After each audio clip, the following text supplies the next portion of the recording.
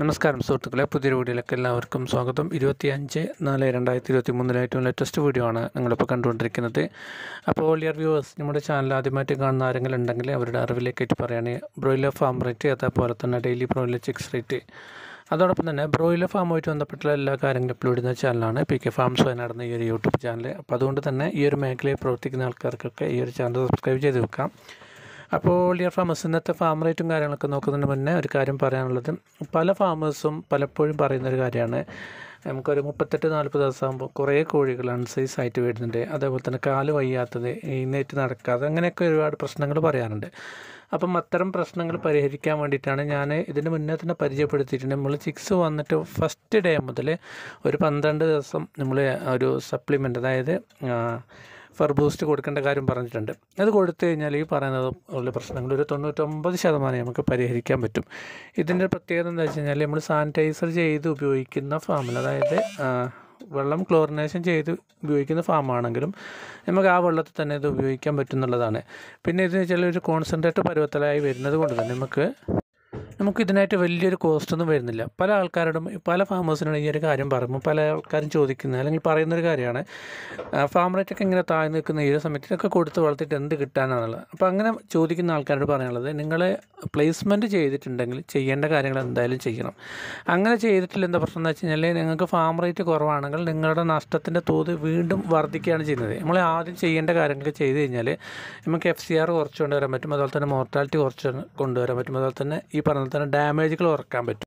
പിന്നെ അതിന്റെ ആകെ ഒരു കാര്യം ശ്രദ്ധിക്കേണ്ടത് ചിക്സ് എന്തായാലും നല്ല ചിക്സ് തന്നെ ആയിരിക്കണം നമ്മൾ അത്യാവശ്യം വിശ്വസിക്കാൻ പറ്റുന്ന ആൾക്കാരുടെ നിന്ന് തന്നെ ചിക്സ് എടുക്കണം. എന്നിട്ട് ഈ പറയുന്ന കാര്യം കൂടി ചെയ്ത് കഴിഞ്ഞാൽ നല്ല റിസൾട്ട് ഉണ്ടാക്കിയെടുക്കാൻ പറ്റും. അപ്പോൾ അത് കിട്ടാത്ത ആൾക്കാരുണ്ടെങ്കിൽ നമ്മൾ പറഞ്ഞിട്ടുണ്ട് നമുക്ക് മാക്സിമം റേറ്റ് കുറച്ചിട്ട് അതുപോലെ തന്നെ പല ഡിസ്കൗണ്ടുകളും വെച്ചിട്ട് നമ്മളത് കൊടുക്കുന്നുണ്ട്. അതായത് കൊറിയർ അയച്ചു കൊടുക്കുന്നുണ്ട്.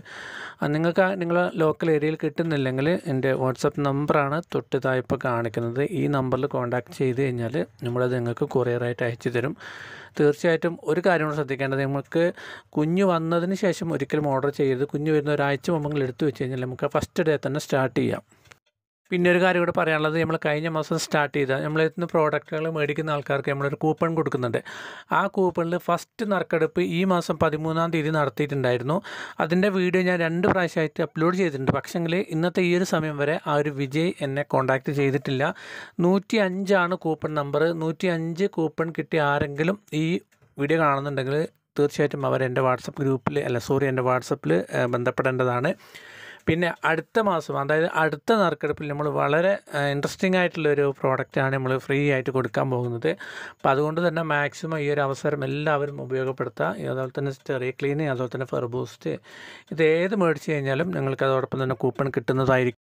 അപ്പോൾ ഡിയർ ഫ്രണ്ട്സ് ഇനിയും ഇന്നത്തെ ഫാം റേറ്റും കാര്യങ്ങളൊക്കെ എങ്ങനെ വന്നേക്കുന്നത് നോക്കിയിട്ട് ഇന്നത്തെ ഈ ഒരു വീഡിയോ ഇവിടെ അവസാനിപ്പിക്കാം.